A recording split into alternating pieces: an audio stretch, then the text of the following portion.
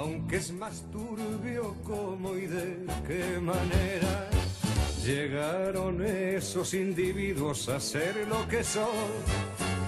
Muy, muy buenas noches. Sean todos bienvenidos a este espacio de cada semana, casi personal. Le tenemos un contenido hoy bastante interesante, con mucha información, con mucho contenido, una entrevista.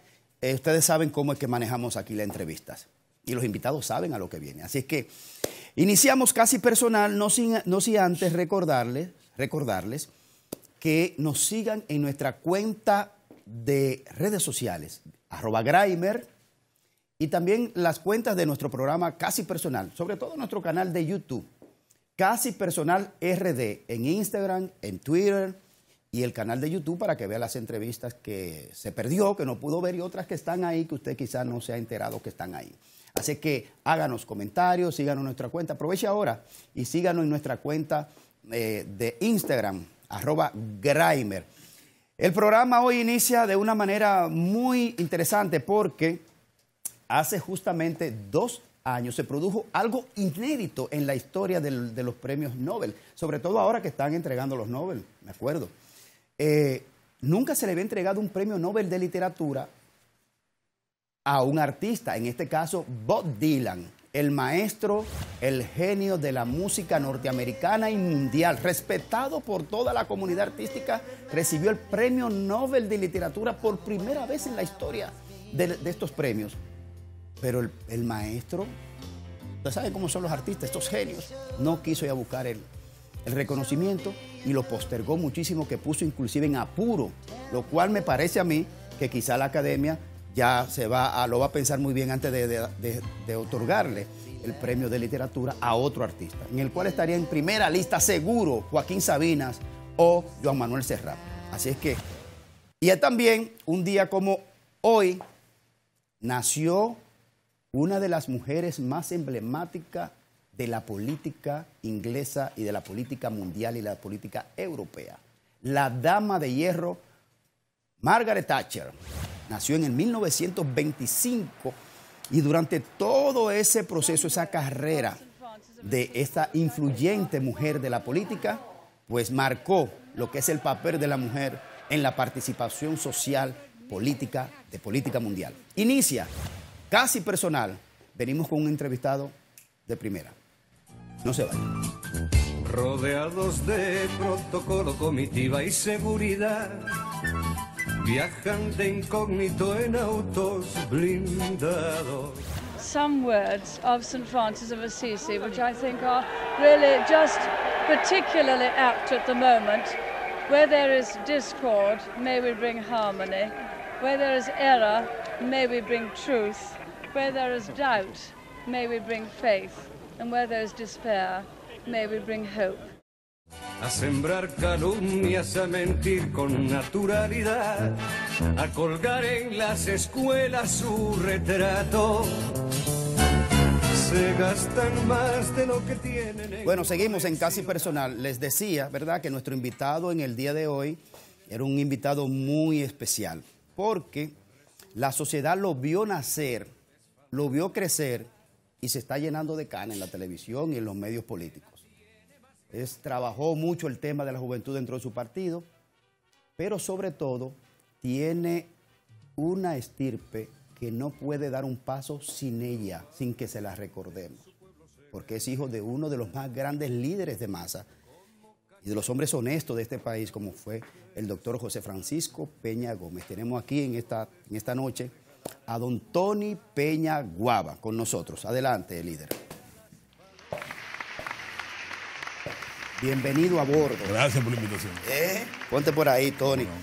Tony, tú, todo el mundo te vio crecer. En la, tú pareces, tú eres como una especie de los niños artistas eh. que la gente lo ve crecer, lo ve nacer, crecer y ponerse viejo en la televisión. No es que tú estés viejo, pero te veo canas ya. Claro. ¿Eh? Claro. ¿Cómo que claro? Bueno, tengo 50 años ya. 50 años. El tiempo no pasa desapercibido. ¿No te apena eso? No, no dice que son bien vividos. No, ah, sí. sí. Eh, ya yo veo que todo comenzó bien. Sí. bien vivido, Tony. Bien vivido. ¿A qué sí. nivel? En todo sentido, porque es que yo nací en la época de los 12 años, pero de mi familia, el que tuvo más libertades fui yo. Porque cuando ganó Silvestre Guzmán Fernández en el 78, hace 40 años, yo tenía 10 años. Entonces yo pude disfrutar una juventud muy florida, Sí. Eh, era muy rockero en esa época. Muy rockero. Te voy a acordar de un amigo tuyo claro. que se llama mi- Iván Ruiz. Mi, amigo, mi hermano, Iván Ruiz. Amigo de long time, de cuando éramos niños los dos. Y Rafael Ventura. Sí, sí, sí, grandes amigos. Y entonces vivían haciendo avería. No, no, y todavía yo sigo yendo a los conciertos, aquí en el país, fuera del país. ¿En siempre. serio, Sí, sí, claro. Tony? El año pasado fui a ver a Stewart. También. Sí, no, claro, sí. Tú no pierdes ese espíritu de juventud. No, no. ¿Por qué? Soy un hombre joven. Tengo Bueno. tres hijos adolescentes. Sí. Sí. ¿De qué edad tienen? Mi hija como tiene 23 años, se- ahora se graduó este año de arquitecta. Mi hijo del medio, José Francisco, tiene 19 años, está en el segundo año estudiando eh, ingeniería civil. Y el más pequeño tiene 16 años, está en tercer bachillerato. Bien, pues bienvenido a bordo a Casi Gracias. Personal. Siéntate por aquí, Tony, que vamos a pasarnos eh, un buen rato aquí conversando Claro, claro. de todo lo que, que- que has vivido. Tony, la- los hombres eh, nos hacemos eh, dependiendo de ciertas circunstancias, digamos. ¿no? Así es. Eh, no es lo mismo ser hijo de Pepín Corripio que ser hijo de, de un- una persona que dentro de toda dignidad venda coco en una esquina. Así es. O sea, la realidad, la realidad material es diferente, digamos, para proyectarse. En el caso tuyo, eh, yo no sé qué se siente, porque no tengo esa oportunidad, ni ya la tendré porque mi, papá murió y mi madre está ahí. Pero, ¿qué se siente ser hijo de un hombre como José Francisco Peña Gómez? O sea, ¿cómo, cómo se puede vivir que permanentemente te lo estén diciendo? Bueno, una gran responsabilidad, porque el doctor Peña Gómez fue el último líder ideológico de la República Dominicana. Fue un hombre que nació en una extrema pobreza y mediante su esfuerzo, su dedicación, sus estudios, su disciplina, se convirtió en el líder más importante de la República Dominicana. En uno de los líderes. En uno de los líderes más importantes de la República Dominicana y uno de los líderes más importantes de la socialdemocracia y del mundo. Sí. Entonces, eso es una gran responsabilidad porque a la hora de tú poder eh, actuar, eh, eh, ese, ese peso muerto tú lo tienes atrás. Sí, terrible, Entonces, terrible. te- tú no te puedes torcer. Si tomas una decisión equivocada, la gente te lo toma en cuenta porque la gente entiende que tú tienes que tener la misma condición. Que tú tienes que respetar ese nombre. Tengo que respetar ese nombre exige. y tengo que comportarme de acuerdo a ese apellido. Cuando tú naciste, Tony, que por cierto, una extraña coincidencia que tu papá y tu mamá nacieron en el mismo año. Así es. En el mismo, en el mismo En el 37. 1937. Y tú 37. naces en el 67, es decir, que tu papá y tu mamá tenían 30 años cuando tú naciste. Así es. ¿Tú eres eh, qué número de los hijos? Yo soy el más joven de los eh, hijos de padre y madre. El más joven. ¿Cuántos tuvieron? Bueno, son cuatro. Cuatro. ¿Cuáles son? Bueno, de hermana Lourdes, Fátima, Luz del Alba, José Francisco Peñaguaba y yo. Exacto. Después yo tengo cuatro hermanas más de padre. Tony, tu papá tiene eh, un origen que la historia lo ha recogido, ¿verdad? en, la, en aquella famosa eh, estado de barbarie que dispuso, ¿verdad? No, Eh, el, el dictador Rafael Leonidas Trujillo. La época del corte. La época del corte, y en esa circunstancia aparece José Francisco Peña Gómez en la historia dominicana. Así es. ¿Cómo te la contaban a ti de niño esa historia? No, realmente como siempre fue. Eh, el doctor Peña Gómez nace en una época muy difícil, donde a los negros dominicanos, a los negros haitianos, a todos de una forma u otra, hubo una situación muy difícil en- en el lado eh, fronterizo. Eh, en ese sentido, todos los negros dominicanos haitianos tuvieron que salir huyendo, porque la gente no distinguía entre una clase y otra. Y Peña Gómez nació en medio de esa barbarie, en medio de, de- de- de esa situación. Sí. Eh, obviamente sus padres tuvieron que salir huyendo. Eh, su hermanito y una prima que tenía 12 años Sí. lo baja de la loma, lo encuentra una familia de campesinos, se lo entrega a otra familia, uno una familia, otra familia, y finalmente esa familia que cría. ¿Por cuántas familias cruzó el- el- el- Primero se lo entregan a una familia de campesinos, esa familia de campesinos, entonces finalmente a, se lo- a- entrega. a los cuántos meses? bueno, quizá un niño, quizá de un año. menos Un año. Pasó menos de un una familia un a una. Así es. ¿Qué tiempo dura en esa? No, no, no, eso fue ahí mismo. Y luego pasa a qué otra familia? No, a la familia que finalmente le dio sus apellidos, Peña Gómez, eh, Fermina. eh, Peña. Sí, sí, Fermina Peña. o. Gómez, ¿cómo era? Bueno, Fermina Gómez y el señor Peña. Sí. En ese sentido, sí, solo que le dan su. Su apellido. Era una familia que tenía un solo hijo. Era ya un hijo ya que tenía 25, 30 años. Eh, ellos tenían una familia de clase media baja, tienen un colmado, y adquirieron a este joven y lo criaron como su, como, su hijo. Y para la señora fue una bendición, porque ya lo que tenía era un hijo adulto. Entonces era como volver a tener, nuevo a tener un hijo. Ah, y entonces, ¿cómo cae Peña en la casa de, de, de, Los Bogar. de los Bogar? Bueno, porque el doctor Peña Gómez, que fue cosechero de arroz, fue limpiabota, eh, era el mejor estudiante que existía en todo Valverde Mao. Ya estando en bachillerato, la gente decía quién está lumbrera, un tipo tan inteligente, y buscaba los libros. Entonces, ya tenía condiciones innatas de profesor. Entonces lo buscaron para acompañar a los hijos de los hogar para que pudieran estudiar. El doctor Peña Gómez descubrió los clásicos que estaban en esa casa y comenzó a estudiar los clásicos. Y prácticamente fue un autodidacta. Pero porque- él fue como empleado de esa casa. no, él fue como un joven que tenía muchas luces y que iba a poder ayudar a los hijos de los Bogar también a estudiar. Que era una clase acomodada. Era una clase acomodada ¿Dónde de vivían los Bogar? No, no, la gente más rica de Babel de Mao en ese momento. Ah, sí. Claro. Ok, entonces tú de niño creciste escuchando esa historia Sí, de, de- de ese tormentoso inicio de tu padre. así es. ¿Cuándo tú descubres que tu papá era una gran figura? Porque a veces los niños están en la casa y no saben que su papá es tal cosa a nivel de, lo- de- de la significación social. Mire, yo recuerdo un recorrido en el año 76. Sí. Tú con mil 10 años. No, promedio. menos, 7, 8 años, como 8 años. Y recuerdo que nosotros fuimos a Asua. Asua eh, no es el Asua de hoy en día. En Asua quizás no existían 10 casas de época. No, no, antes hacían hasta chistes con ¿Cómo la pobreza de Asua. La antes. pobreza de Asua eran prácticamente de, de- Sí.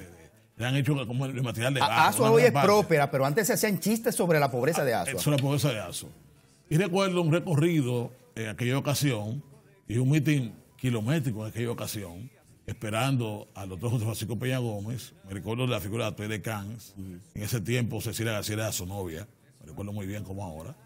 Y recuerdo ese discurso del doctor José Francisco Peña Gómez y ahí me di cuenta y yo, bueno, pero... Pero mi yo soy- papá- yo soy hijo de, de- de una figura de, Ahí- mucho respeto. y ahí lo comprendiste. Ahí lo comprendí. Exactamente. Entonces, entonces Tony, ¿qué, qué ambiente tú vivías?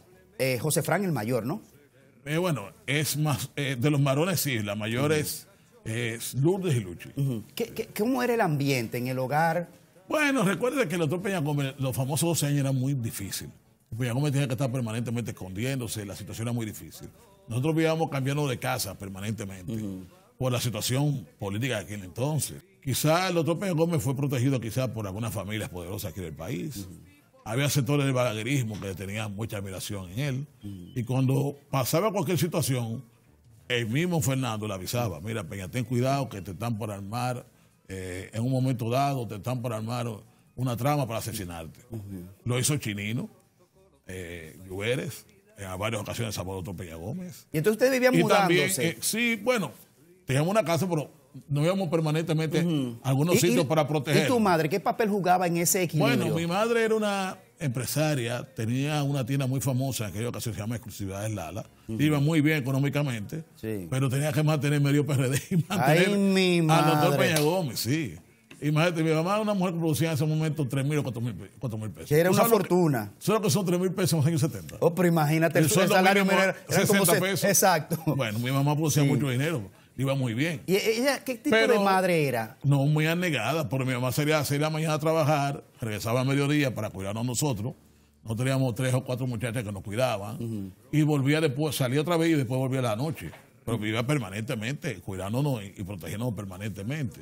¿Y ustedes se portaban bien? Sí, claro, sí. Seguro. Sí, sí. No, yo soy de la zona colonial. Nací ahí en la, en la Pablo Hincado, número 14, segunda planta, frente a Conservaduría de Hipotecas. Ahí nací yo. Y yo, donde me eduqué primero, mi educación inicial fue en un famoso colegio, que era el colegio de Doña Antera, ahí, que quedaba en el Conde. Sí. Ahí fue, yo hice los pininos ahí. Después tuve en el colegio de los Benjamines, toda mi vida solamente tuve un solo colegio. Y recuerdo muy bien esa época, pero de mis hermanos el que tuvo mejor fui yo. ¿Por qué? Porque cuando el PRD gana, Sí. yo tengo 10 o 12 En el años, 11 78. años. Entonces yo comienzo a disfrutar una vida diferente Sí. ya, porque estábamos en democracia, ya mi padre podía estar tranquilo. Tranquilo, moviéndose. Eh, la situación era mucho mejor en todos los sentidos para nosotros. Y yo recuerdo que en esa ocasión, eh, en los años 70, finales de los años 70, principios de los años 80, cuando salía a la calle, a mí me cruzaba algo que era un poco, quizá, hasta difícil para uno como, como persona. En ese tiempo todavía existía mucha discriminación. La hay, pero en este país hay más clasismo que racismo. Que racismo. Sí, es un tema Pero en de ese clase, tiempo sí. había más racismo que clasismo. Sí, de eso podemos hablar Hoy un en día, hoy en día más clasismo que racismo. Y recuerdo que a veces estaba yo en una discoteca de moda. ¿Tú lo has sentido el racismo en tu país? Bueno, en esa época sí. Sí, lo sentías. En esa, ¿Te época, afectaba? en esa época lo había. No, porque yo tenía la condición que quizás que el único persona de color que estaba en esos sitios era yo. Sí. más, el hijo José María eh, Dería Bonetti, ¿verdad? Y yo, recuerdo que en varias ocasiones éramos los únicos dos negros que estábamos metidos en el 10C aquí de la, Sí. de la juventud dominicana a nivel de los medios de la sociedad, los únicos dos que estábamos. Porque prácticamente no O se sea, veía que tú tuviste una niñez, digamos, eh, equilibrada. Muy bien. Muy equilibrada. Muy bien, muy bueno. Y la juventud mejor. Excelente. ¿Qué- qué- qué tú A mí, le- a mí me fue muy bien. Sí, te voy a explicar por qué. Es que tú le das como un sazoncito. No, es que mira, mis tres hermanos se casaron 18 años. ¿Cómo fue tu juventud? Mis tres Perdón, perdón, hermanas. perdón, perdón, Tony. ¿Cómo fue tu- excelente, Excelente. excelente. Mira, mis tres hermanas se casaron 18 años. Cuando yo tenía ya 13 años, en mi casa ya mis hermanos se habían ido todos. Yo vivía con mi mamá. Ahí el Barito Morales, que todavía es la casa materna de nosotros, que la tiene mi hermano. Y viví una época muy bonita. Nosotros montábamos bicicleta, yo corría motores. ¿Me entiendes? Corría ve- vehículos. Todo eso yo lo hice Tú en lo juventud. todo. Sí, recuerdo que una vez tuve una luxación en un hombro y me fui a Miami y cuando vine yo tenía un- dos motores. Yo tenía un Yamaha y un Kawasaki. No, un tremendo, 125 tú eras tremendo, y un 2 y medio. Tú eras tremendo. Cuando vine de Miami, mi mamá me lo vendió. Sí, bien hecho por ella. ¿Tú Te íbamos a perder. Sí, es posible. tenía como 18, 19 años. Pero Tony, me sí, fue muy bien, no te, lo puedo quedar. Te fue muy bien. No, qué bueno. Este, yo te voy a hacer una pregunta con toda la seriedad y el rigor y el respeto eh, que amerita la pregunta para irnos a la pausa y para que me la responda al, al retorno. Cuando te pregunté por, lo, por, por el origen, eh, te sentí un poco sentido con el tema de, del corte y esto de, de Trujillo. ¿Tú se puede renegar de que Peña Gómez era hijo de, de haitianos? ¿Se puede renegar eso? Te lo puedo contestar. A, a Mira, la pausa. A la pausa. A la pausa. Retornemos. y daban de comer a las palomas. Probablemente que todo eso debe ser verdad.